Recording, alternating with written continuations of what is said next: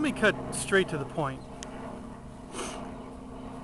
Uh, the manuscripts of Judaism and the manuscripts of Christianity, the, the sacred texts of both Judaism and Christianity, predate the sacred texts of Zoroastrianism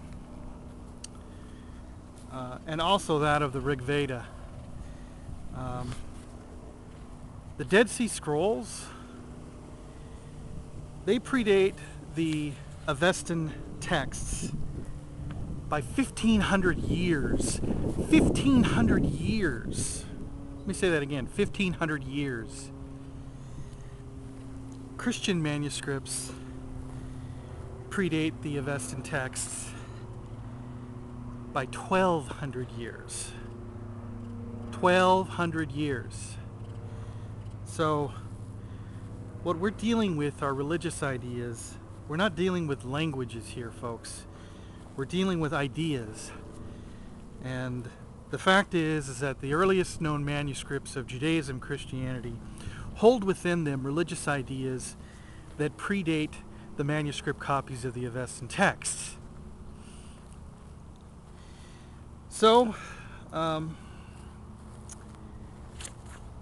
let's forget about which language is, is older than which, uh, even though those are circular arguments as well.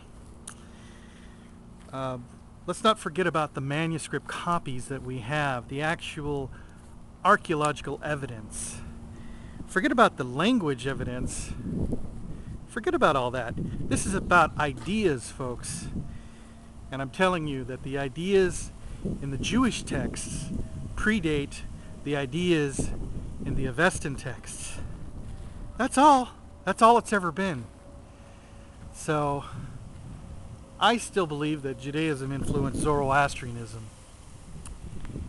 And, uh, and then everybody else can speculate, you know, uh, they can continue to speculate and I'll speculate and we'll just keep speculating. But the fact the facts remain, folks, that the manuscript copies of Judaism predate the Avestan texts by 1500 years. Plain and simple. All right. God bless. Keep seeking truth.